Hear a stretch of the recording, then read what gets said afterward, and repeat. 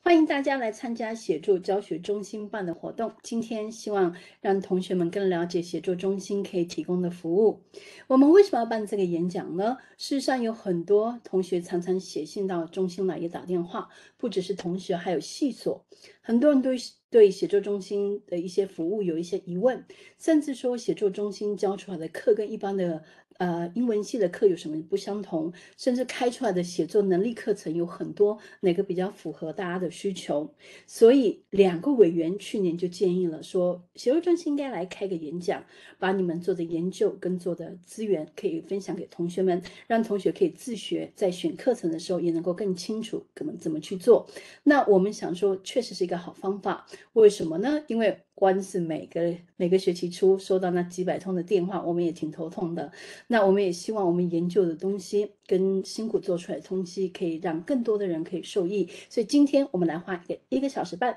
来介绍一下写作教学中心各个对同学相关的一些服务，也包括有一些老师可以使用的资源，希望可以带给台大里面需要的一些，不管是同事们或者学生们一个好的选项。我们今天开始之前，我们先来看一下，今天我们总共整个场次，我们分成整个场次，我们分成了四个部分。我们可以看得到，第一部分的话，我会先介绍写作中心的课程，让你们选课的时候更知道课跟课之间的差别，跟明跟我们下学期要推出的十一门课程跟同学有很密切的关系。第二个，我们就会请江介伟老师来分享一下，呃，有一些平台是专门给各种资讯的平台，同学们可以去 subscribe，就可以知道很多写作中心每一学期给的资源。那第三部分更符合学生的需求哈，是我们目前做的影片跟目前做的一些教材里面，哪些是同学可以自学使用的？那有一点点，有一点点觉得好笑的地方是，台大很多同学其实会用到写作教学中心的资源，但是我发现最多使用的、最多使用的来源是来自于校外，尤其是对岸。反而我们自己台大里面使用的量是全部的量里面的十分之二而已，这是比较有趣的现象哈。那想告诉你们说，金山医生就在你旁边，不用到别的地方去找，那尽尽量我们放在线上，让同学可以免费的使用。那第四部分来到跟你们最密切的就是我们开出的咨询，能够提供写作咨询的学校并不多。那提供咨询的学校里面，免费的那就更不多。然后给了之后还频率这么高的，那简直很少见。那你知道这个学校就在你周围吗？台大就有做这件事情，已经深耕了五年。那我们现在就花一点时间来分享。我们先从最基本的开始，写作中心提供的课程。写作教学中心提供的课程也不相同，有一部分是写作中心自己开出来的课程，我们称它叫共同课程。那大部分是研究所的课程，所以研究所基础的英文写作到进阶到专业写作，就是你们自己的领域写作，或者是你的论文写作都有，中文、英文都有提供。然后还有另外一种课程叫基本能力课程，这是跟共教一起合作的。这些课程我们总共开出了十门，等一下会介绍。那除了我们自己开出来的课程跟共教合作的课程之外，我们其实还有一些跟系所合作的课程，跟系所合作的课程空间就比较大。有一些系所就是希望克制化，所以呃。有一部分的系所是希望我们中心原有的课程就搬到系所去，让他们的系所学生可以得到更专注，就是更多的 focus，这是好事，我们当然愿意。那除了这些之外，有一些老师会觉得说，我们的系所的需求跟别人不相同，譬如说医学系，我们大部分的系所会教你们怎么去做 academic presentation，像 poster presentation，但是呃医学系某一个领域就说没有，我们大部分的医生都是去做。Elevator pitch，他去做三页的简报，希望可以找到 sponsor 跟合作的机会。所以像这样的情况，他的 academic 的 level 会比较低一些，更多的是属于行销的部分，就是行销他的 idea。所以这个时候我们会比较偏向 business proposal 的 presentation。所以在那一部分我们就稍微说了修改。那也有系所说，我们系所最常跟人家什么呢？correspondence 写信，然后真正写报告的时候是没有那么多的频率，所以能不能加一点商业书信的成分？我们也做了。那更有科系是说，我们这科系不产期刊的，我们都是走 conference，所以能不能在 conference 的 paper 跟 poster presentation 加大量，我们也是可以配合。所以就变成说，系所通常要透过系所来跟我们谈要合作，我们会因为你们的需求量身定做你们的课程，再派适合教这门课的老师过去。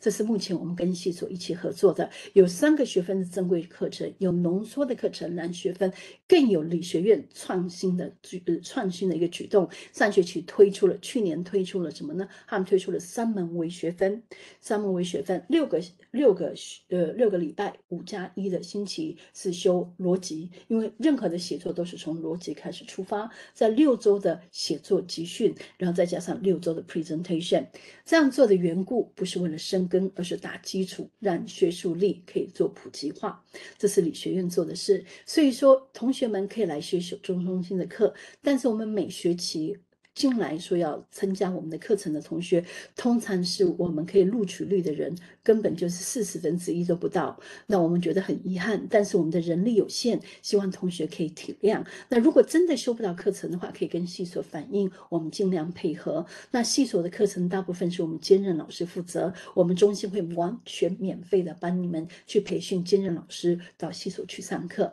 那这是我们两方互相配合的一个配合下的一个模式去。合作的模式。那目前协助教学中心的课程，我们就以大学部来说，它是属于学生本位。来，什么叫学生本位导向？协助中心真的做到了这一点。我们做的很简单，我们会问大学生到研究所学生，他们需要什么能力？我们做了一学生的需求分出来之后，再相对要培养这样的能力，就要开什么样的课程？所以，我们从开了最初级到最高级，总共有十门不同的课，符合学生各项需求。所以，我们先看第一部分，上方。右上方蓝蓝色的部分属于是属于课程是属于什么呢？EAP 就是全部的课程是为了在大学或研究所可以学得好，所以它是基本学术力的推展。我们开了英文基本写作、学术英文写作，这两个都是研究所的课程，非常的受欢迎。大学部我们下学年会有新的推出，我们等下再说。那我们还开了。阅读的课程，阅读的课程读中生智。那因为他没有做分级，因为我们是开出来的是总共开出六个班级，然后一个班五十个人，总共三百人的阅读班级。但试行了之后，两年之后发现学生程度其实有很大的差异，所以我们下学期推出来的课程有分级的概念在里面，等下再这样稍微做介绍。我们还开了大学部的 oral presentation 的部分，希望奠定学生沟通能力的基础。来，还有一个是深造预备。如果你为了要出国，你有很多的 application，不不知道怎么选学校，不知道到哪里选奖学金，这一门课也很受好评。所以，也就去教你怎么去规划你未来在学术的生涯。那黄色的部分是属于什么呢？是属于 professional purpose，就是除了电听基本基础之外，往上升的精修课程。所以你会发现，它的课程语文不是它的重点，语文是拿来被应用，它已经是一种工具，为了要产出更高层的。产品，我们来看，譬如说，我们有 Scientific Writing and Communication 这一门课，它是完全用外语进行的。这门课是做什么呢？通常是教同学怎么做科技上面、上面上相关的，或者是科学相关的一些写作。然后再来是学术口头报告，它是专门是譬如说你要去做 poster presentation，或者是 academic presentation，或者是你写论文的时候，每年的 annual report 也是属于这样子的 train。training 逻辑表达力 logic，我们常常说，常常在写作，老师常常会跟你说要有逻辑，要有逻辑。它到底是什么意思呢？逻辑不是拿来说的，很多时候它是一种天分。我们常常说它是一个 gift。天分，但是对有些人来讲，这个 gift 礼物迟迟不来啊。所以我们做的事情很简单，就是帮同学稍微去看一下，说大概这样怎么去培养这样的天分。我们上学期推出来，去年推出来的课程是由 Kevin 老师，有包括我们的张介伟老师开的，也是广受同学的好评。这是新的课程，但我们正在努力开发中。下一个是工科，我们针对工科同学，我初期开始教工科，我们本来是把它并在一般的学术写作，但我们发现。工科的学生占写作中心的客户群，算是一半左右的人口，相相当多。而且我们发现，我们用平常语文的方法去沟通，发现他们根本没有办法 catch 到我们的我们的梗。为什么呢？因为工科对数字很敏感，尤其他喜欢系统的学东西。与其告诉他理论，他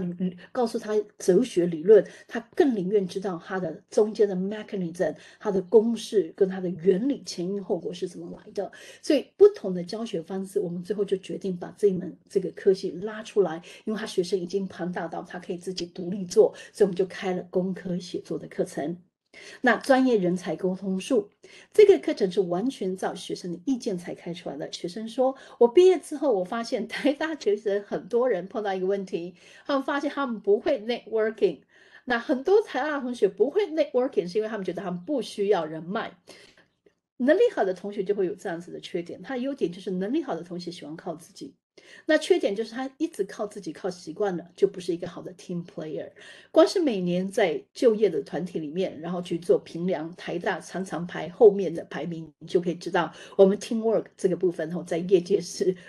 被人家批评到一无是处，所以全部台大老师有这样的使命，说希望同学们可以更知道怎么跟人家相处。所以我们很多的作业都不再只是考试，更多的是 project 的形式，就是希望培养同学的领导能力，还有倾听，还有跟别人合作的能力。而这一堂课就教你怎么去做 networking，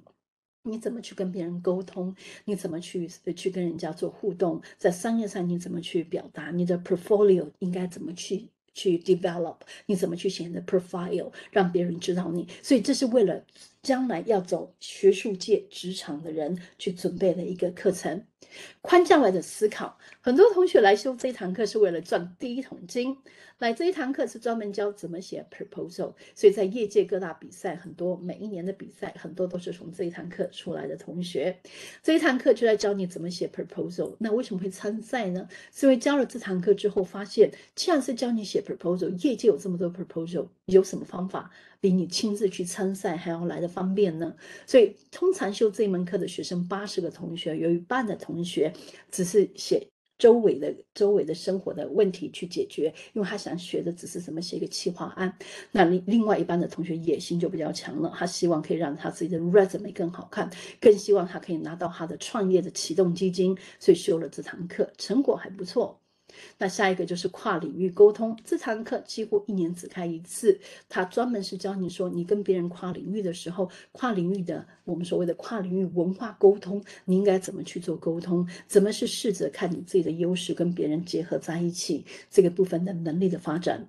最后最下面是专门为了同学的职场去培育的一些课程，像使用英文，使用英文其实有教一般的大学学生的文件如何写，它有包括商业的 correspondence 都有教到实用性的英文。下一个也是大小故事大世界哈，专门教的是故事行销。台大学生很会吵架，但是有一个很重要的国际的 coach，他讲过的一句话我非常喜欢，他说你要赢得一场辩论。你只要靠数据，但你要赢得人心，你要靠故事。所以通常我们台大学生很喜欢用数据来去争取批判的新思考，但常常忘记同理心，然后数字与情，有时候情意面的启动效果更好。所以这一堂课专门教同学怎么去看社会问题，怎么用同理心去对待，更重要是怎么样去包装你的故事，去达到说服人的目的。这就是小故事大世界。最后也是广受好评的职场英文，职场英文里面老师会教你怎么写 resume，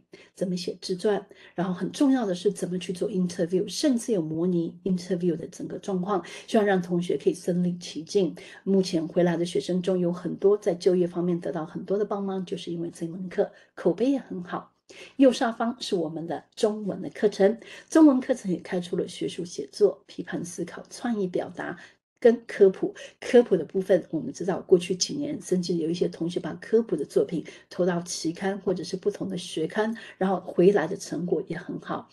这是写作中心全部开出来的课，目前有的课程已经行之有年，口碑都很好。通常进去的比例，研究所是二十分之一，大学生是四十分之一，比较难。但是后面等一下会有自学跟演讲的介绍，同学可以参考。如果选不进来的话。下学期我们要推出新的课程，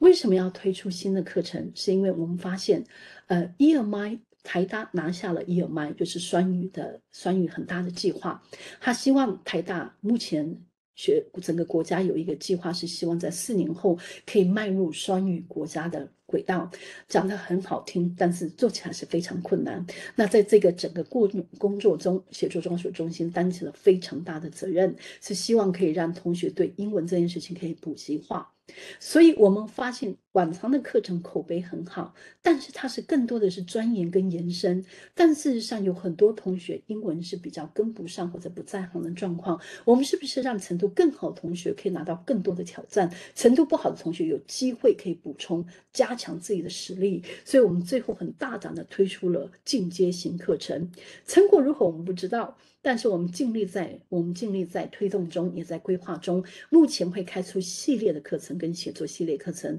下学期我们最基础的是最基础最大的班级是所谓的普及化，就是。字的读中生字的第一个基础就是初级英文阅读，跟写作课程的英文写作入门。这两门课重要不是在写作，重要也不是产出作品，所以它通常是用考试的方法解决，而且是最大的班级，一般大概有八十到一百个人。你会说这么多人怎么学？这些课程不是精进课程，它是普及课程。台大的学生有一半以上都有 B two，也就是说。英文能力算是中高级，但是也有另外一半不到中高级。而这些同学并不代表我们放弃了，至少要有概念。我们一直相信，不是每个人都要成为英文很棒或者成为英文老师，但是你要听得懂别人说什么。你不一定要讲得很流利，但你要听得懂，你要能够找资源看到英文的原文书，你才不会输人家太多。你可以在专业里面、语言里面生根，但是你基本的工具也要有。所以我们觉得这个部分是很重要，所以我们开出了普及课程。所以有普及课程，同学可以上。如果底子比较差，我们会地毯式的帮 reading 的 strategy 跟 writing strategy 帮你再上过一遍。之前没有学好，没有系统的学，你的机会就来了。那第二级进阶课程在阅读课程，我们开出了批判阅读，会针对联合国的一些国际型的议题，然后去做探讨，然后去想去回应，说我们大概怎么去处理。中间会有 debate，会有辩论，会有很多的活动，会口头分享跟去找文献来去做去支持你的理论，所以它比较像是批判型的阅读。而写作的部分，我们会进行到真正的写作。段落写作，所以段落写作会有讲解位老师负责，就是我下一位老师哈，来。最高级的阅读课程，它必须要有 B two 以上的程度，也就是说，它必须要全民英检中高级，然后雅思在七百五上，托福在七十五以上，才能参加这一门课程。它是时事思辨，就是 current event 现在的国际上的议题，譬如说乌克兰的战争，或者是疫情、疫苗的研发，这些都会是时事的探讨。然后课程全部走走我们所谓的纽，就是纽约大学的 debate 课程的形。式，希望让同学不只是不只是可以截取 idea，更重要是怎么样去逻辑去产出有幸福人家可以让别人觉得 persuasive 的 argument，然后再去呈现出来。这堂课会是全程英文，由由谁呢？由我们 Kevin 老师主要去带领。那。写作的部分最高是，你都以为论文是研究所的事情，其实不然。很多老师都在抱怨，大学生应该就要开始学论文，在国外小论文的写成是。大二就开始了，台湾的起步非常慢，所以协作教学中心就担起了这个责任，由我们来带好了。所以我们会开一个小论文，所以你如果修了这堂课，不止你一个人，你会用小组的方法去小论文，然后教你怎么写一个小论文，怎么做一个小的 paper，让为你未来，不管你有没有升研究所，就算你不升研究所，它其实就是把一个 project 做好的整个理念，跟搜寻资料，跟找方法，也就是它是。的思考科学思考的训练，所以以后你到业界去的时候，你会赢在哪里？台大的身份真正赢在哪里？赢在你接受过系统性的科学性思考，而不是道听途说，把这个强项培养起来。那如果你要进研究所的话，那更棒。你为什么呢？你赢在起跑点，不管你出国或留在国内，一定会对你研究所有很大的帮助。所以，我们下学期会推出这门课。你会发现只有六门。我为什么一直说十一门？是因为全部的课程采中英文同轨进行，所以是一样的内容，但是有中文上课跟全程英文的上课。除了最后的就是思辨的课程 debate 只开出英文班，否则的话，其他都是中英文都有。我们这么努力研发课程，是因为我知道同学都想走捷径，怎么样可以演讲？怎么样咨询？怎么样自学可以让我自己英文很棒？那我们想讲的是说，如果你本身底子很好，这些确实可以帮助到你。但是如果你真的要回到底子很好，你平常又没有读英文的习惯，没有大量阅读，你就只能靠被强迫的方法。最好的方法其实就是修课。为什么？因为整个修课的过程中，有人帮你规划了进度，有人帮你吸收了课本，你再传授给你，让跟你一起练习，没有比这更幸福的事情了。所以，如果可以选择上，恭喜你。中，我常常有人开玩笑说，写作中心的课要上，要上，要拜文昌君，确实是这么一回事。所以我们很希望有一天可以在课堂里看看到你。如果真的看不到的话，不用太沮丧。写作教学中心为了补足很多人没有办法上课的遗憾，我们研发了非常多的内容。等一下，第二跟第三部分，尤其是第四部分，会告诉你们怎么找到资源，然后要有耐心待住后，我们把时间交给下一个老师张建伟，交给你了。好，没问题。然后现在我们来分享我的投影片。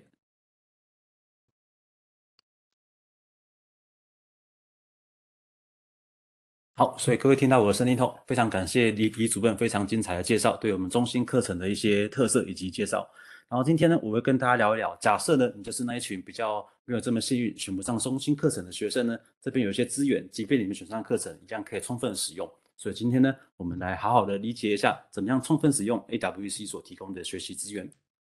然后这边呢，就是大家可以看到，在画面右上角的地方呢，就我们的电子报以及写作资源，从这管道进去呢。各位就可以取得最立即，然后立刻做演练的机会。然后待会呢，我会逐一跟大家谈一谈怎么使用我们电子报，怎么使用我们的写作资源，来同时呢，即便没学到课的同时，依然可以增进你的英文实力。哦，这边是一个重要的讯息，各位呢可以立即来做下呃呈现跟使用。然后呢，这三个资源呢，我们会从电子报谈起，然后再写作资源以及中心的一些实体出版品。然后这三个呃，这三个资源呢，都不限制于给授课学生使用而已，而且更适合推荐给没有学到中心课程的学生跟听众。你们可以从这些资源里面呢，可可以去掌握到中心呢想要呃推动的资源，以及呢一一直以来所做的研究的一些初步结果，来跟大家提一下。呃，身为电子报的编辑呢，已经担任呃担任了三年多电子报的编辑。然后中心电子报的历史呢，从二零一四年三月开始，到今年五月，已经快要八八年半了。所以有非常非常丰富的资源，会超乎各位的想象以及预预期哈。所以这边呢，我们是采取月刊的方式，每月都会发行一期的电子报。然后我们主题呢，也会尽可能去集中，每月呢会有特定的主题，比方说是申请留学，比方说是科普文写作。所以各位呢，如果你有定期去参阅以及阅读我们的电子报的话，里面发现中心的主题很多元，而且内容相当丰富，可以深入浅出。所以呃，如果你尚未加入我们电子报的话呢，这边有 QR code，你们可以选择扫描，而且加入我们。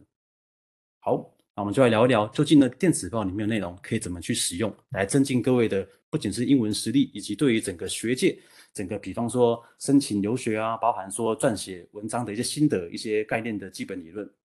基本上电子报呢分成这五个章节，从所谓的编辑式报告，由我本人来撰写，来跟各位分享本期可以留意的一些焦点。再来是所谓的 food for thoughts，会去引用一些名人佳句，让各位呢去同时去欣赏所谓的文字的艺术，同时也可以去观察。这些所谓的名人，这所谓的作家，如何用一些独到的观点来切入探讨一些特定的议题？所以这这地方呢，也是我们呃历史悠久的一个单元之一。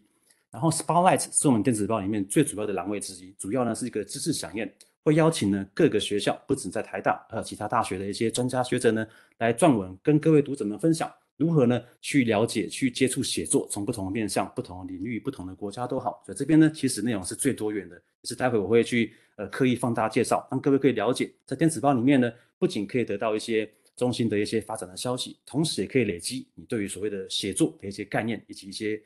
理论的理解。然后第四单元呢，我们试着把它变得轻松一些些，会透过人员专访的方式，让各位呢可以不仅去认识中心的教师群的一些比较有趣的面向，也可以同时了解修课学生一些学呃一些学有所成的学生呢后来的一些反馈，包含如何取得奖学金，包含如何录取美国的一些。呃，知名大学他们的心得回馈呢，其实是最珍贵的部分，也是对于修课中心修课的一些最直接的反馈。所以这个单元呢，待会一样会详细跟大家聊一聊，可以怎么使用这个单元来去让你去看看过往的学长姐们怎么修习中心课程，或者取得一些成就啊，所做的一些反馈。啊，Penny for your thoughts，简单来说是读者原地，会在这边呢定期公告中心每学期举办的工作坊、演讲以及写作咨询的服务。所以各位呢，如果要掌握到我们确切的消息的话呢，请务必要留意这个栏位的一些相关讯息。好，那现在我们就来聊一聊我们的电子报的主轴之一，关于所谓的 spotlight。spotlight 一开始我们撰文的文章来源，主要是从台大的教师群，尤其以中心老师们为主，他们会各自挑。各自所专精的一些领域呢，来撰写一篇文章，来跟各位聊一聊写作的不同面向，包含从论文摘要开始谈起，谈到写作一些理论，谈到一些写作的实务一些一个功力，所以有很多很多的资讯呢，在一些呃我们中心的电子报的一些期刊上都可以找得到哈。所以这边的情况是一开始由中心的教师群撰写，后来呢，我们希望可以扩展我们的视野，所以我们邀请了各个大学的老师，包含清华大学的台湾科技大学或台北大学等等。学校的老师们，他们呢都愿意提供呢，在不同的教学场域里面呢，所看到一些面向，一样呢有专呃呃专门为我们撰写一些文章呢，来提供电子报的读者一些不同的观察面向。然后我们的视野也不仅止于台湾哦，后来我们有甚至有邀请到像在耶鲁大学。呃，哈斯金实验室的研究专员，然后还有在密苏达大学任教的教师呢，来跟各位分享，从国外的视野来看，来去反思教学呃写作教学或写作运用呢，在不同的学生族群里面的一些效果。所以各位呢，如果好奇的话呢，一样可以在我们的那个 Spotlight 的栏位里面呢，找到一些过往的文章。然后我们中心举办过非常非常多场的演讲，然后呃，同我们的休课情况一样，通常呢，会有许多听众以及学生呢，会无法报名成功。所以会有些遗憾，会希望中心呢可以提供一些管道来去补足这样的缺憾。所以在我们的电子报的 Spotlight 里面呢，也会收录一些演讲的精华摘要，而请中心的一些教学助理或一些人员呢，会特地到现场做一些演演讲纪实，而且事后呢都会特别跟演讲者做过确认，这个呃情报内容呢是否符合他们想要传达的一些呃中心思想要旨。所以，透过这样子的一个园地呢，各位呢，即便没有参与到中心举办的很多场演讲，也可以透过电子报的一些浏览、一些文字记录呢，重新检视，获得一些重要情报。所以这些东西呢，都经过读者跟我们的一些反馈，我们希望呢，可以提供的更多面向，以及去呃收录出来更多资源呢，来帮各位同学啊、读者可以读到我们中心所举办的所有活动，以及一些写作的相关面向。好，这是属于我们的呃所谓的知知识响应。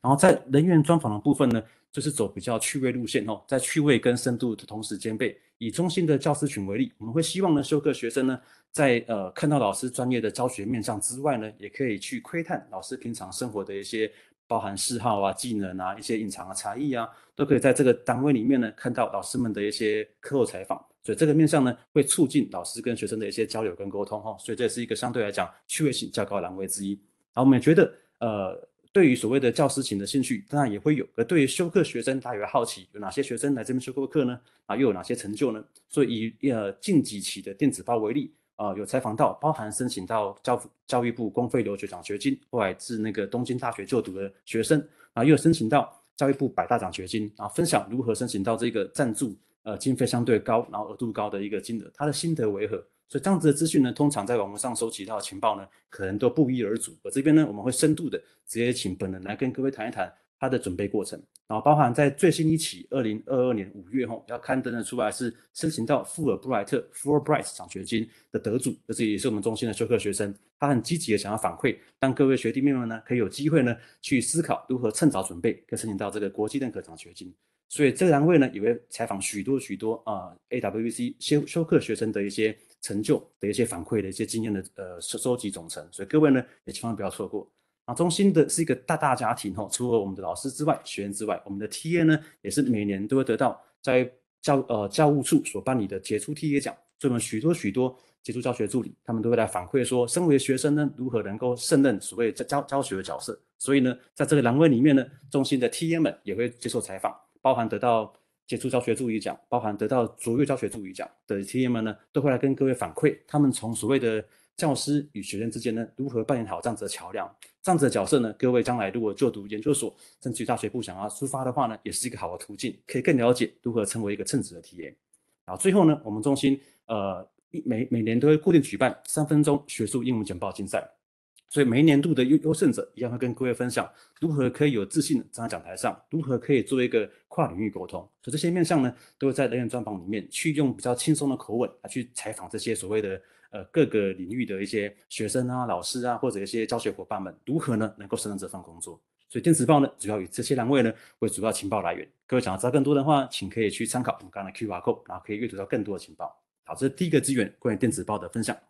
好，接下来呢，跟各位聊一聊，在电子报之外，你如何呢使用中心提供的线上资源，直接呢来去强化你的英文实力吼。所以在修课的时候呢，我们在比方说以我们的英文写作基础来说，我们每周呢都会有所谓的单字测验以及文法测验。是如果你没你不是修课学生，你依然想要这样子每周渐进式的培养实力，在中心的网页上呢，就有这样的资源可以使用。大家看到在画面的左上角有所谓的学术采用单字的测验栏位。然后这样子的好处是呢，你可以立即作答，立刻知道你自己答案对或错哈，所以可以做一个立即的验收。而且特别的是呢，所谓的学术单字，通常不仅是对单字定义的理解，更多的是呢去理解一个语句的 context。所以呢，中心的呃所谓的呃例句的测验呢，会特别去雕琢所谓那些呃语句的撰写。但各位呢，要同时可以掌握到语言的 context，才可以真实选出来正确答案。所以如果你好奇你的单字量是否充分到，足以能够驾驭学术单字呢？这边会是一个很好的自我检测的机会啊！大概分成十个单元，每个单元各十题哦，总共一百题的机会，可以测测看你对学术单字掌握度有多高。然后右下角的地方呢是学术常用文法，所以这边也是一样，也是属于我们的基础英文写作的一个每周必带的范呃教学范畴之一，就是如何去学习文法。然后文法的测验呢，有传统的单呃选择题测验，也有比较有呃更加实用性的写出来它的句型结构。所以各位呢可以去借着借有这机会呢。把学过的一些抽象文法落实于字句本身，所以这个机会呢也是相对来讲比较少见哈。通常我们比较常见的是所谓的选择题的方式，可这边呢我们认为文法必须要活用到真实的写作的例子里面，所以句法测验呢，各位可以上网做做看，这边都有提供一些有趣的机会，让你在不修课的同时呢，其实可以跟修课学生做一样的进步哈。所以这边是我们的线上资源提供，然后我们来聊做一个面向中心的出版品。中心出版品基本上目前有这主要五本，后当然还有还有两本，大家看到在右右下角的地方即将出版，啊，跟各位大致的提一下他们的定位以及他们的功能。在上半段的地方呢，是主要是搭配我们中文学术写作课所使用的，所以如果你要选修中心的中文学术写作课，同时又参考这些书籍的话呢，你会发现有更有一些可以阅读的一些文本，有更多例子可以做检验跟呃呃演示。可如果呢你尚未修到课程的话呢，这些课程也可以帮助你。大部分人去吸收跟理解，在课程里面所教的观念为何？所以如果你先读过他们，到将来再来修课，其实你会觉得已经做过一次预习，那修课呢成效会呃更加的丰厚。然后在下半段的地方呢，是属于英文课程的部分。通常在英文课里，在我们的英文写作课里面呢，会有搭配文法跟单字的教学啊，这些书籍也是一样，按部就班的安排好，怎么去呃搭配每周主题的设定，来去帮助各位同学呢，同时掌握写作文法以及所谓的学术智慧的使用。然后在我们的右下角的地方呢，我们中心呢近几年在积极的做写作咨询的服务，已经服务超过呃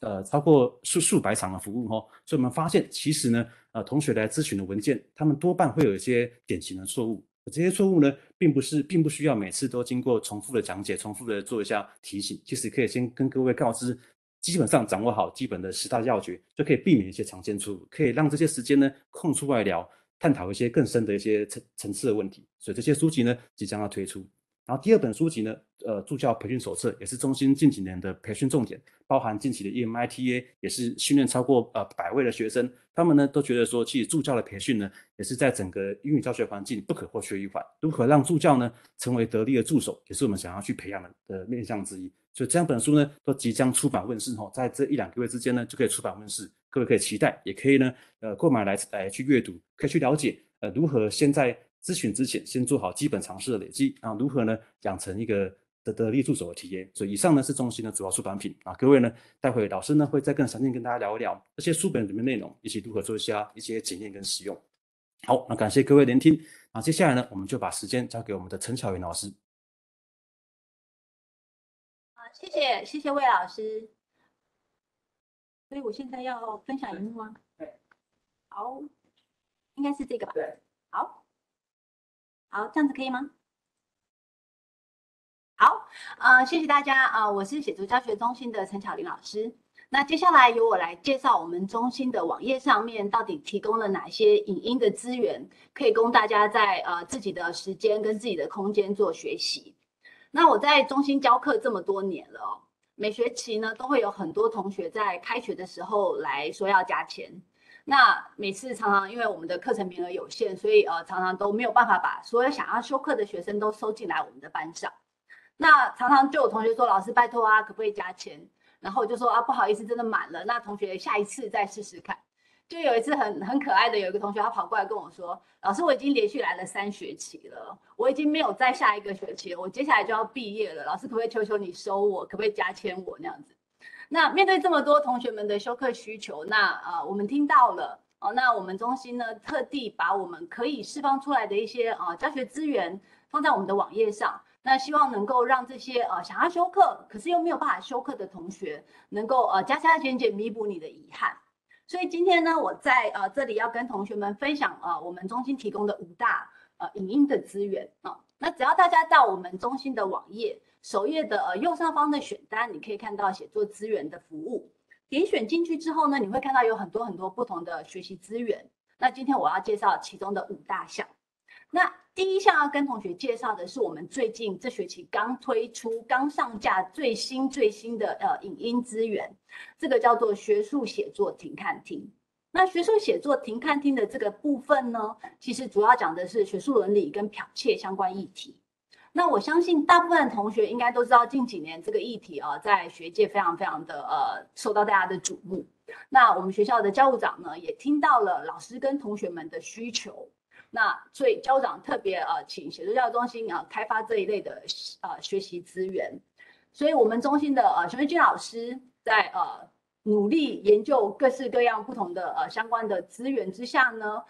特别用简单有系统的方法设计了这五门啊线上课程。那这五门线上课程其中包含了到底什么叫 authorship，什么叫做剽窃，然后当我们要引用别人的资源的时候，我们要如何做正确的摘写，或者是换句话说，那当然你用了别人的资源，你要做好 citation，那你怎么样做好参考资料的注记，或者是在撰写文章的时候，怎么样做好呃相关的标记，这些都非常的重要。所以这五个资源我们整理出来，然后也请我们中心的老师支援拍摄相关的影音影片，放在网页上。那这些资源呢，我们同时提供了中文版跟英文版。所以同学们可以根据各自的需求选择你适合的呃版本去收看。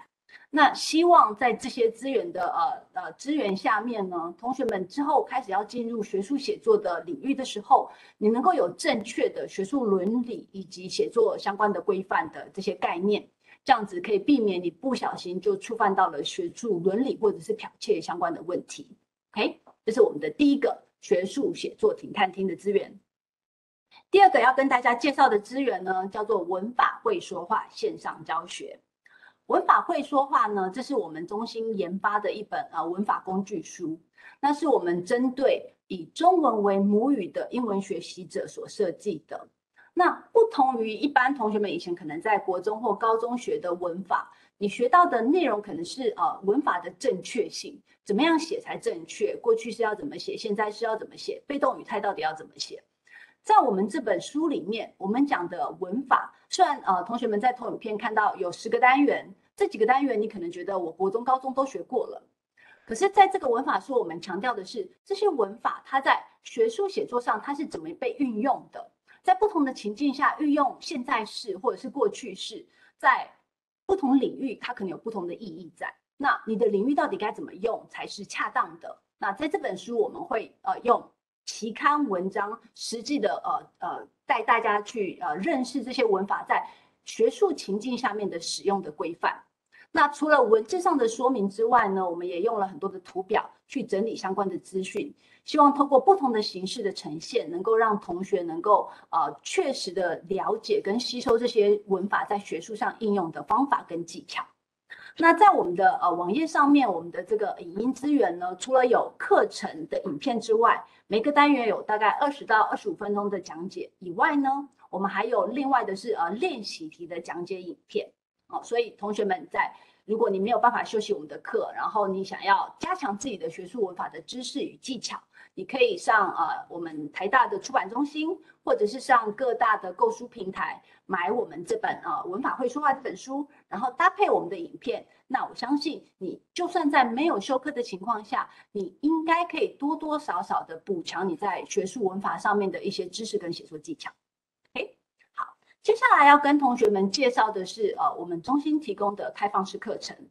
我们的开放式课程目前在网页上你可以看到有两种啊，一种是我们的呃英文写作基础，那这门课呢，就是我刚刚说的，我们中心从二零零八年成立到现在，其实呃这本这门课呢开给研究生，可是其实常常供不应求，不管是呃硕士班的同学、博士班的同学，有时候甚至连大学部的同学都会想要来修这门课。那我们这门线上课程呢，特别把这门课精选它的六个重要的呃章节，六个重要的单元放在 OCW 里面供大家自学使用。那这六个单元包含前三个单元是属于呃呃整个段落或者是章节的呃连贯的问题，unity 跟 coherence，然后你怎么样使用参考资料增强你的论点，怎么样使用 supporting detail，或者是呢你怎么样写 summary 或 paraphrase。那后三个单元讲的是篇章的架构，包含了 cause effect、comparison contrast，还有 classification。那希望在这六个单元的呃简单的说明课程说明，还有一些呃练习。同学们也可以透过这个线上的资源加强一下你的学学术写作基本功。除了这个线上课程之外呢，我们还有另外一门课叫做读中生智英文批判阅读。那这门课呢，呃，是我们开给大学部选修的基本能力课程。那在这里，你可以在 OCW 的平台或者是在我们中心的网页都可以看到这个呃影音资源。那在这这个课程里面呢，我们主要的课程内容分成三个部分。第一个部分是基本的阅读能力，因为很多同学开始呃进了大学，开始要念很多的原文书，你就会发现呃阅读能力这件事情其实非常的重要，因为老师常常指定了非常多的阅读，可是呢你没有办法在指定的时间把它快速的阅读完毕，或者是你看了，可是你不知道重点在哪里哦。那这门课的前半部啊前三分之一主要讲的就是这个部分，你要怎么样快速抓到英文原文书的重点。重点在哪里？然后呢，我要怎么样碰到单字的时候该怎么办？如果有什么不同的 strategy 可以运用，或者是说我在呃要复习的时候啦，或者是我在看这些文章，或者是甚至是 journal paper，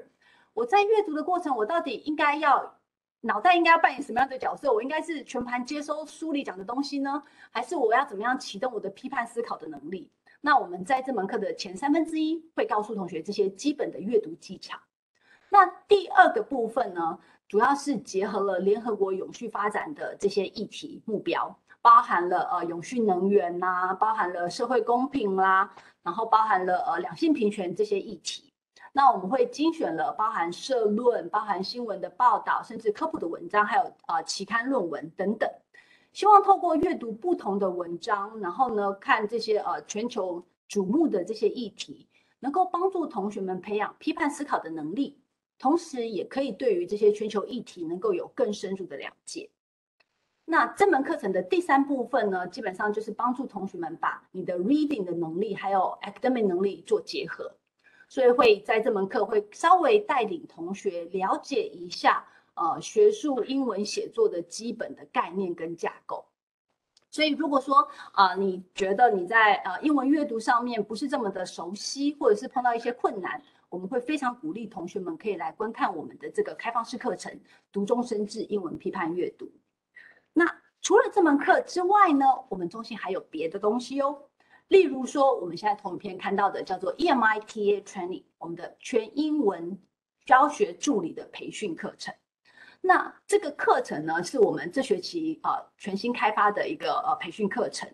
那这门课主要是因为我们今年呃跟我们学校的双语中心合作。一起来帮忙我们学校把这个双语的环境建构好。那双语的环境，全英文的课程，它要能够呃上得好，它的效果要好。除了老师是一个很重要的关键之外，其实我们的教学助理也扮了一个非常非常重要的角色。那教学助理到底该怎么办？这件事情呢，我们其实呃，我们中心一直以来对于助理的培训、教学助理的培训这件事情，其实是非常重视的。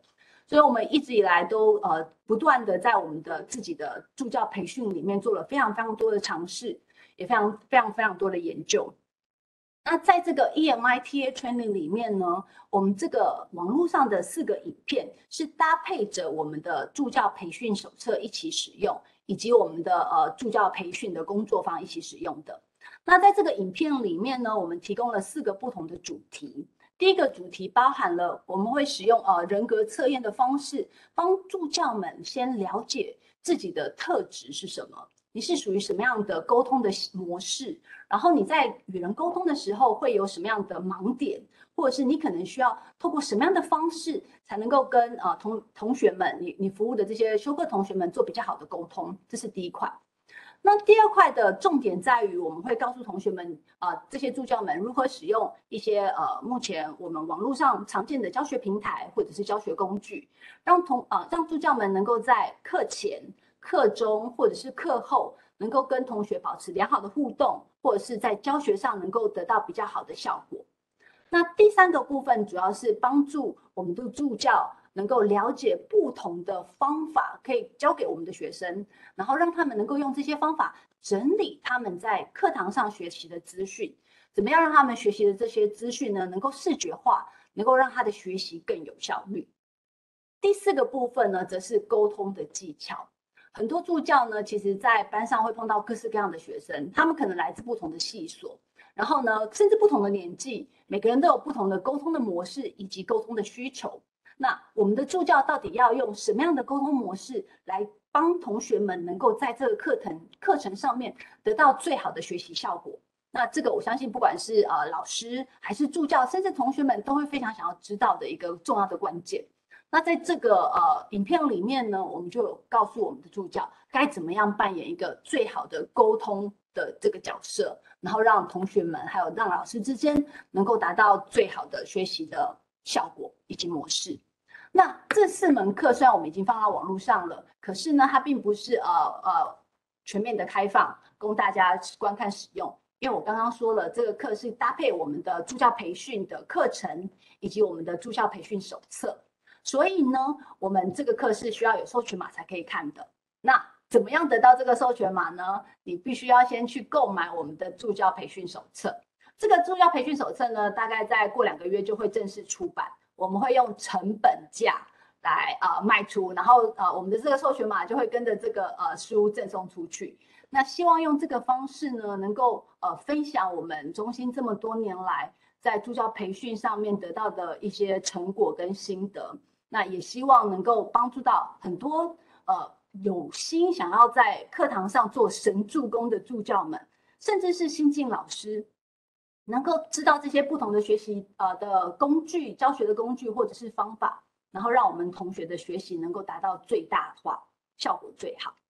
那我们刚刚提到了我们一直在讲的助教培训手册，那这个助教培训手册呢，总共有六个章节，其中的前五个章节呢，就是我们呃近几年来我们中心说的老师在助教培训的过程所累积下来的一些重要的研究的呃成果。那这些研究的成果，其实我们在我们的助教培训的活动里面，其实我们也曾经尝试试用了很多个学期。那经过不断的改进，加上呢，我们也专访了来自不同领域的杰出优良助教，然后我们问问看这些助教们在不同的课程里面，他们曾经碰过什么样的困难，然后我们一起找到共同可以解决的一些方法，那放在我们的这个助教手册里面。那助教这个手册里面的第六章是我们今年新增加的一个单元。那为了配合啊整个学校的双语政呃教育的这个政策，那第六章主要是呃讨论到在担任全英语课程的这个助教到底会面临到什么样不同的状况。所以呢，我们研究了非常非常多的呃国内外不同的学术期刊，找出来同学们在修这种双呃英语全英文授课的课程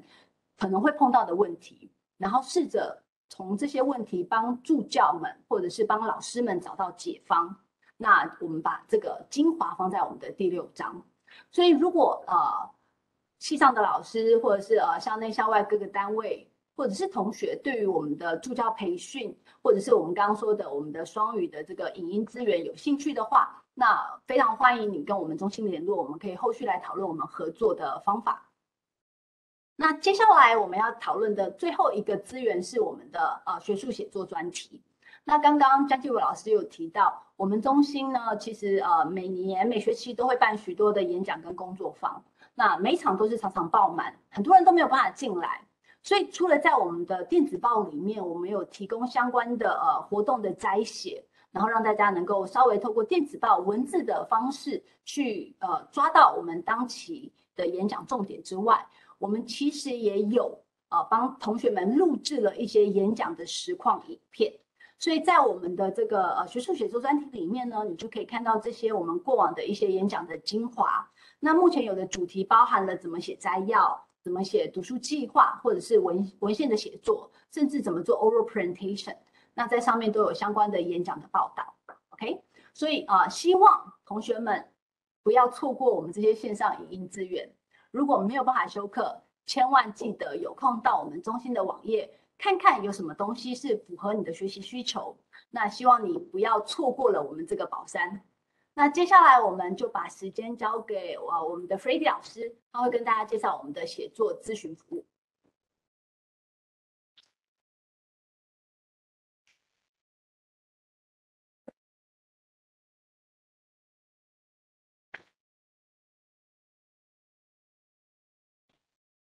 OK，嗨，大家好。我是写作教育中心的老师，我叫陈一奇。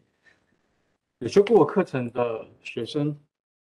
我的比较熟的同事跟朋友都习惯叫我 Freddie。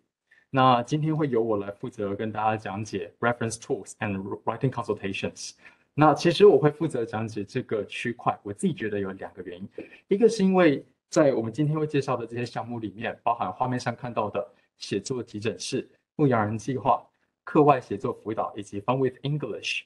呃，这四个项目当中有三项我自己亲身就有呃亲自就有参与第一线的服务，然后呃，Fun with English 其实在背后大家在统筹在计划的时候，我自己有参与讨论，所以其实这四四项呃计划里面，我自己就参与了三项，我觉得我很适合来讲这个。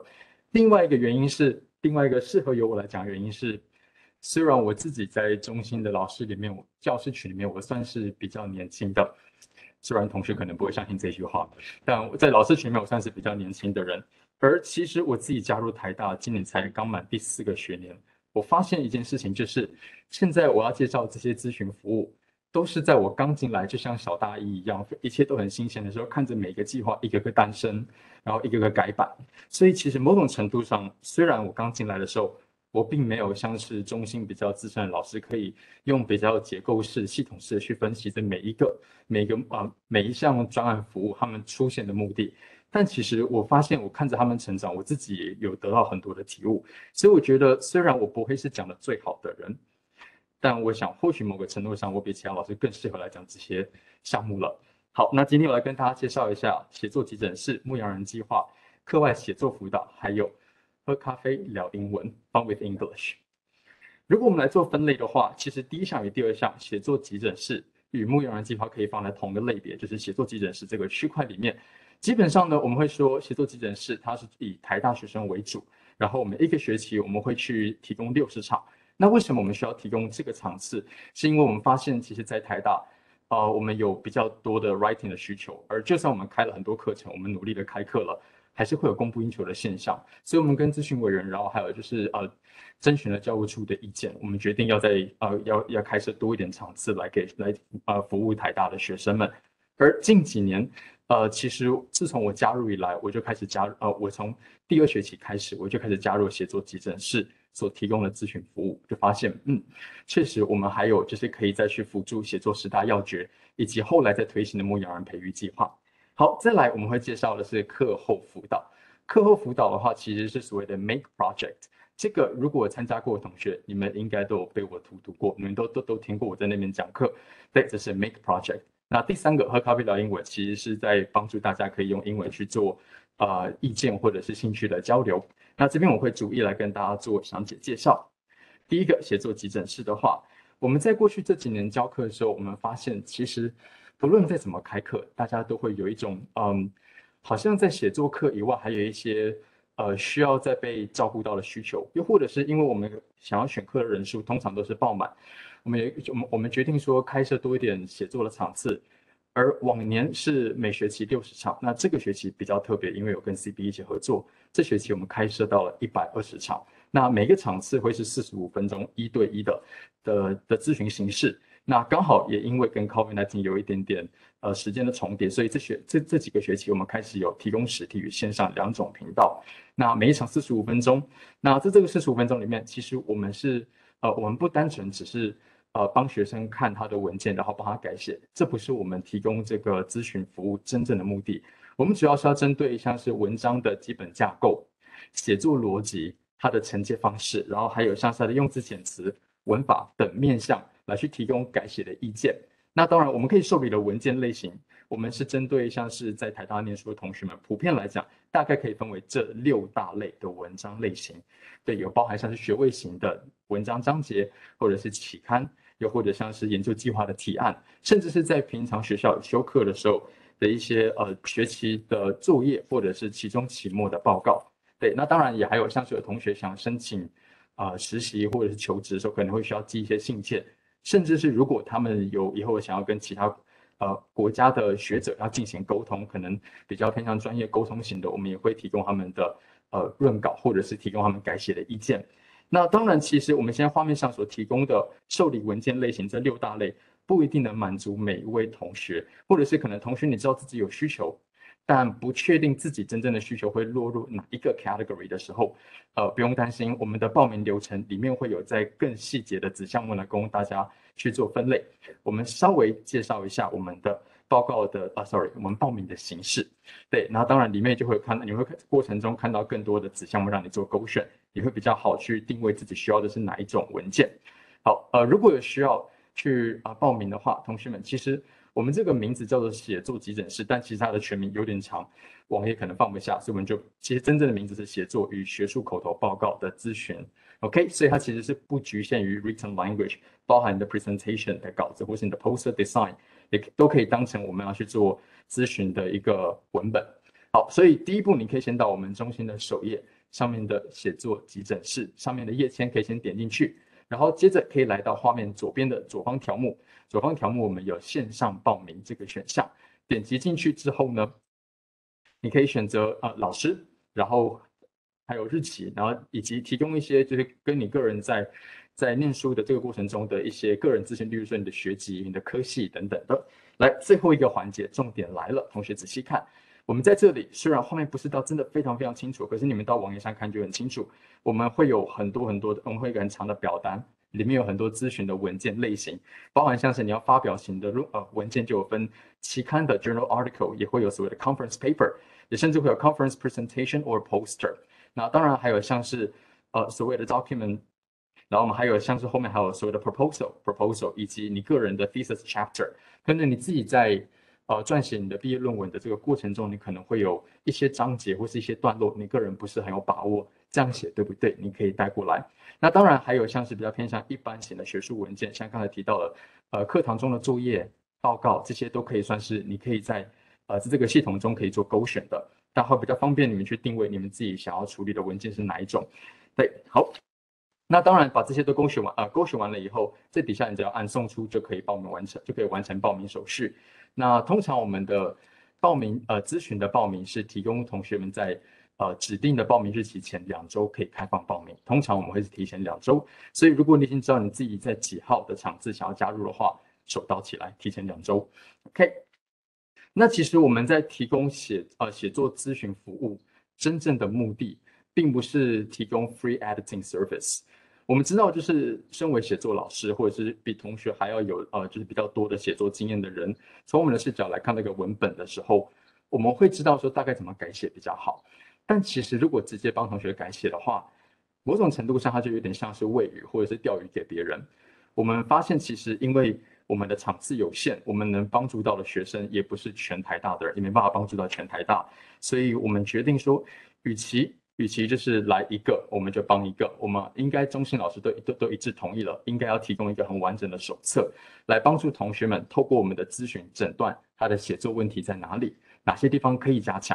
而我们的中心其实所提供的咨询服务跟外面一般所看到的咨询最大的差别是，如果同学去外面使用了写作咨询的服务，不论是否收费，通常他们都会呃告诉你哪边可以改善，或者哪边需要加强。那他们不一定会给你呃适当的加强的方向或是方法，也不一定会给你加强用的资源。但我们中心老师就是决定要去呃准备这个手册。这个手册刚才在张继伟老师的那个章节有提到，就是我们这边会有一个写作十大要诀的手册。那目前我们已经先上传五个单元在我们的网站上了，OK，有包含搭配词、文法、语感以及如何开场、如何结尾。那另外五个单元我们会在陆续上架，包含写作逻辑。还有我们的组织结构，然后字句精简、用字遣词以及衔接连贯。那当然，这些我们提是要提供同学们。假如说在咨询的时候，我们发现可能在写作逻辑上，他可能这个承接的不是这么顺的话，我们会把这个部分 highlight 起来，提醒同学说，除了我们现场要改写以外，我希望你们在课外可以去看这个文章或者相关的资源，我们会 refer 给学生，那他们在在我们的中心网站上可以看到这篇文章去做自学。OK，所以再一次，我们咨询的目的其实是要帮助大家去诊断他们可以改进的空间，并不是第一线直接帮他改写，然后让同学并没有自己成长的感觉。对，所以我们其实目的是要去强化英文呃英文写作的技巧以及知识，还有延伸语言操作的那种理解与认知，还有最后我们想要帮助的是学生可以如何自学，帮自己诊断他自己未来写作的问题。OK，那针对这个如何开场与如何结尾这两个这两个单元。这最后这两单，我们就来稍微看一个截图，稍微举例一下。如果同学们，呃，在写作的时候，呃，你们会有个困难，例如说不知道怎么去开始动笔，或是你写一写发现不知道怎么收尾，这个其实是我们自己在过去这这，嗯，我自己加入写作咨询团队这三年多来，我观察过。呃，比较常见的问题就是写好了，然后他可能头跟尾写的没有中间来的精彩，或者是吸引人，又或者是说可能指导教授就是说就是怪，但不知道哪里怪。那这里的话，其实我在咨询的时候很常遇到这个这个情况。刚才魏老师在介绍的时候有提到说，哎，已经过百场。我刚刚趁着空档查了一下我们后台，从我们有建档以来，四舍五入五百场，对，去掉零头五百场。我们中心只有十来个人而已，还不错吧？对，五百场，这两年多三年来，我们提供了五百场的咨询。那我自己遇到，其中有三分之一以上都是在处理，呃，如何开场、如何收尾的精彩的这个写作特征。那我们就来看这个文章，稍微介绍一下。像我们的文章会提到说，如何开场，就会教同学们，通常在一个传统的学术或正式文件当中，我们写作会需要知道怎么去开始自己的文件内容。像我们会有所谓的，呃，introduction paragraph 里面所提到的 hook。Background information 以及 thesis statement，那这就是 introduction 这个区域。那当然，不论是是 college essay，又或者是 research paper，其实我们都会呃都会有一个类似的模式。那当然，如果是学术比较比较传统具体的学术模式，例如说 research papers，那可能会有像是右边这个情况。如果有修过我们中心的课的的。同学应该都不陌生，这个图表这是所谓的 IMRD 架构，这是比较典型的论文会有的结构。那这边其实像我们有时候会遇到同学们，他可能知道怎么呃怎么开场，但是文章不知道怎么收尾比较好。那 How to end an article？呃，通常大部分会有困难的是 conclusion 写呃就是已经写到 conclusion 的时候，不知道最后几句话到底该怎么去下笔，又或者是不知道具体可以提供什么样的内容来去证明。自己文件的或是自己的研究的 significance 或 contribution，那这边可能我们在最后的第一个这个章节，我们可以提到我们的不同的目，我们会提到像是不同的段落章节，我们会有不同的步，那我们把这个称为 move，OK？所以像这边我们提到说文章的架构整体会有一个 IMRD，那在 IMRD D 这个章节里面，其实就像是画面上大家所看到蓝色小箭头一样，都是有层次的，就是这个句子的排序。它有一个一定的步骤，让你的读者读起来比较轻松。那当然，我们也会提到说，诶，如果要写 contribution，可以怎么可以怎么写？我们也会放一些例子，或者是你要怎么去写呃 announcement，或者是如何去写 structure announcement，这些我们都会跟大家提到在这些文章里面。所以其实回呃回到头来，我们在咨询的时候，目的是帮同学们诊断他们可以改进的地方，然后并提供他们相关资源。如果以后你们来使用资源的时候，发现老师有帮你改写。这个是一个他额外自己愿意做的事，但记得走之前，就算他帮你改写，你可能心里有点高兴，说他解决了我当前写作的困难。也记得要要问问他，那老师，如果我想自学的话，我可以怎么去改进？你可以推荐我写作时大要觉得哪一篇文章吗？或者是我去网络上搜寻，我应该搜寻什么关键字，这样我才能帮自己真的长久型的、永久的呃去克服这个问题再出现的情况。对，所以我们写作咨询的目的是在这里。除了帮助大家诊断问题，也是帮助他们自学找找出自学方法。好，再来我要介绍下一个叫做牧羊人计划。牧羊人计划，我自己习惯把它称为 The Shepherd's Project。呃，其实也是延续刚才这个话题。我们提到所谓的写作咨询的时候，我们有发现，就算中心老师全部都下去了，对，刚才那个数字大家也有听到。没有到真的疯狂的多，但绝对不是会让我们很轻松可以克服的一个任务量。所以其实 Shepherd's Project 这个这个想法，我们跟我们的咨询委员讨论过，他们采纳呃就他们建议我们可以使用这个呃这个 idea，就是其实，在台大也有很多学生是很优秀的，他们自己也有发表文章的经验，参加过国际 conference 的经验，他们甚至可能有在自己的系上被选为就是可以教学弟妹如何去呃撰写这些 paper 的学长姐。那其实我们也可以就是直接培训我们台大自己的人，然后我们来去把他们变成可以帮学生去看稿的的所谓的写作辅导者。那我们这边会把他们称之为学生级的写作辅导员。在我们中心现在就有七位，那教师群的话是有六位，而在这七加六背后，我们有一整个写作中心的写作员的培训团队。OK，那其实这整个目的比较单纯，就是要去模组化我们的写作咨询服务，确保我们的量能可以供应。然后也希望可以去鼓励同学们，我们可以普及并强化同学们对于学术写作或是正式写作的这种意识或者是习惯，养成他们的习惯以及养成他们的这个能力，把它培训起来。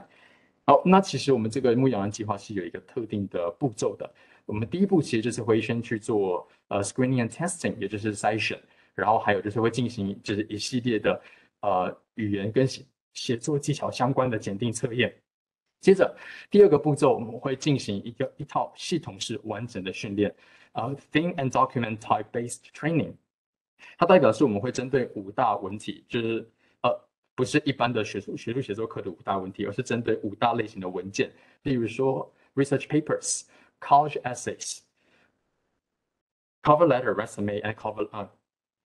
SCV，然后还有 presentation poster，以及最后还有一种最多大学部同学会需要的 language assessment text，也就是语言检定，包含像是托福、雅思、GRE、GMAT 写作的这个部分的文章。其实我们都会针对这五种文类去提供同呃我们的牧羊人同学们呃相关的训练，教他们怎么去看这些稿子，教他们怎么在针对这这五种类型的文章里面去提供改写或是呃编修的意见。OK，接接着下一步训练完，呃，训练会结束之后，我们会让这些牧羊人们，呃，就是跟场一起观摩，并在观摩之后，就是可以进行，呃，可以跟我们的 coach 进行呃 Q&A 的讨论。OK，然后最后我们在就是在观摩之后，我们会让他们就是亲自下去去进行几场的 drills 跟 feedback，也就是我们会在，呃，就本来是牧羊人看老师，那现在会变成是老师去看牧羊人，然后并提供他们一些在去做精进的意见。对，所以这个其实是我们的三跟四川是一套的。那其实我牧羊人培训的计划，在在近几年，我们其实是一零九至一学期才开始的计划，相较来说是比较新的。在我们这就是在在这刚才讲了这三个里面，它算是比较新的一个计划。那其实，呃，我自己因为参与了牧羊人的这个计划的培训，我自己觉得这很适合台大。那也希望同学们如果有兴趣，以后你们可以申请看看。OK，好，那我们继续前进，来到下一个课外写作辅导。这个跟我自己个人呢比较有关联性，因为课外写作辅导，呃，全名叫做 Make Each Individual Count，那简称为 Make Project。对，大家如果有有有看到的话，画面上的里面就是我自己在讲课。我们的 Make Project 里面有三位讲师，有我自己，然后还有 Nina 叶志玲老师以及 Tracy 李佳穗老师。那我们有分实体与线上场次两个版本。好，那我们的全名 Make Each Individual Count，我们的目的其实是希望说，同学们在写作课上完了之后，或是我们中心开设的课程上完之后，还有一些想要呃在深度讨论的 Q&A，可是可能在课堂时间都用完了，可能很难再有机会去找到老师可以讨论的话，或者是说如果自己写作课也不知道适不适合就是找同学一起讨论的话，比较私人的，比较自己可能在写作的诠释上有的疑惑。可以来 Make 这个地方使用，就是可以来听我们的主题讲座，然后也可以再进行意见交流。对，那我们的 Make Project 其实是有限定，有在休息我们 AWC 开设课程的学生才可以参加。所以只要是我们中心开设的课程，不论是哪一个，只要你有修我们中心的课，你就可以参加我们的 Make Project。那就这个学期来举例，我们是星期三都是实体，星期四都是线上这样的方式。那其实大家有看到画面中间这里，我们提到了很多的日期，对吧？这边日期的每都是一个主题，十五分钟的主题式教学，再加上四十五分钟的意见交流讨论。所以这十五分钟其实我们是呃，所每一周都有不同的主题内容要讲。那这些内容其实是辅佐，可以跟我们的十大写作要诀可以做呼应互补的。对，那我们其实自己也不是呃，其实也不是只修改过一次内容，因为每一个学期我们可能要用的例子就会有点不一样，或是顺应着每一个学期的。呃，学习趋势我们也会稍微做一点微调，所以其实我们已经修改过不止一次它的内容了。对，那么每一场六十分钟，其实这十五分钟主题教学之后，会是大部分来参加 Make 的同学觉得受益更大的地方，因为他们来这里，根据过往学生跟我们的反应是，他们来这里，他们可以交到自己在班上同学以外的朋友，他们有时候可以就得到说在在班级内跟自己组员互动的时候所没有听过的意见。他们来参加 Make 反而可以跟别班的人交流，这一点很好玩。我曾经有一次看过一个学生，他来参加 Make 是愁眉苦脸的进来，我当时心里想，嗯，是我的问题吗？后来发现我没有那么重要，是他带着他写作上的问题，然后听完了这个主题讲座之后，解惑了三分之二，然后再来跟其他同学讨论的时候，本来是问我，结果其他班的同学他也加入了讨论，解决了他的问题，他很高兴的跟那个人交换了 line，一起走出这个教室，留下错愕的我们，对。有点羡慕，对，反正就是 make project 是一个可以让同学们可以呃同时就是处理写作疑问，以及可以就是在跟其他同学交流的一个地方。对，那其实 make project 还有一个出现的主要原因是，我们以前一直以为说我们开写作课，然后如果量能不足的话，我们只要再再增设写作咨询就好了。呃，我们当时有一个假定就是有修课的同学们基本上不会有额外需要呃。辅助的地方，但后来我们发现，其实，在下课的时候，或是学期末的时候，总会有同学说：“老师，我觉得你们的课很精彩，很好玩，内容都很棒，很丰富。”但是有一个问题，就是我觉得有时候就是可能就是每一周周间我们会有一些疑惑，但不知道可以去找谁。而写作咨询可能刚好没报上，也没报满，那能怎么办？所以我们后来开始去反思，好像不是开课在家咨询就能就能满足所有所有会有需求的人。我们觉得有休课，但是有疑问的，可能这是一个隐性的需求，不是那么明显，所以我们尝试了 Make。那这就是 Make 一开始会诞生的一个缘由。那假如同学以后你们修我们中心的课，你们就是哎可以来参加我们的 Make Project。好，再来我们要进入最后一个环节，叫做 Fun with English。Fun 呃 Fun with English 其实呃它的名字就是有两种称呼方式，我们可以说是喝咖啡聊英文，可以说是 Fun with English。好，那这边的话稍微忍耐一下，画面上的动画哦，对，它是我们与商业中心 CBU 合作筹备的一个计划。那其实我们这个活动呢是筛选了十五位英语小老师，每一项啊每一个每一位英语小老师自己都会担任一项知识或是记忆技巧的达人来去做分享，所以包含像是歌词啊、瑜伽、古筝或者是摄影技巧这些，我们全部都有包括十五个小老师十五项技能。好，再来。其实我们这个活动它是一个全英进行的。呃，曾经有同学们他们在学术英文写作的时候跟我们反映过一个问题，那我觉得可能跟这个契机有一点关联性，就是我们在课上会有同学说他参他可能参加国外的 conference，或者是有国外学者来的时候，他们必须用英文聊天，然后发现不知道怎么用英文去描述自己的兴趣、自己的长处，